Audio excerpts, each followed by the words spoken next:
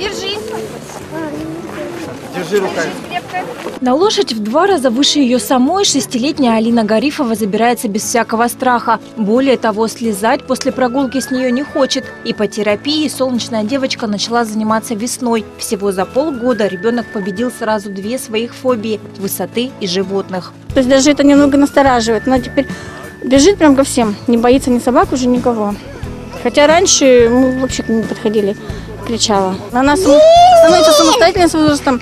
Я сама, я сама, я туда пойду, а ты со мной не ходи. То есть на улице тоже просится сама. Мы ездим на танцы. на- Я пойду сама сегодня. Со мной не надо ходить. Обратно вызову такси и приеду домой.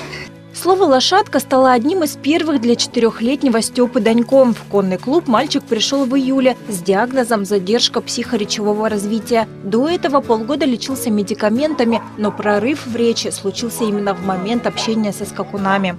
В феврале этого года он говорил слов 15 всего. И вот сейчас он говорит практически все. Ну, таких прям э, как рассуждений пока еще для его возраста нет, но речь уже хорошая. В этом году ипотерапией в контуре занимались 24 особых ребенка. Уроки прекратились еще в ноябре из-за холодов, так что праздника в клубе дети ждали с крайним нетерпением. Кроме катания на лошадях, они смогли поваляться на сене и пожарить зефирки.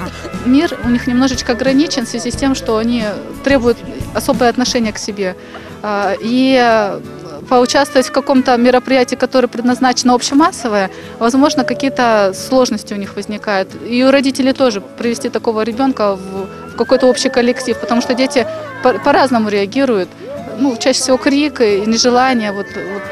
А а здесь, во-первых, знакомая среда, Прятать особых детей дома нельзя, с этим согласны и активные родители, и педагоги, и психологи. Только в обществе малыши даже с самыми тяжелыми диагнозами будут развиваться и успешно бороться с болезнью.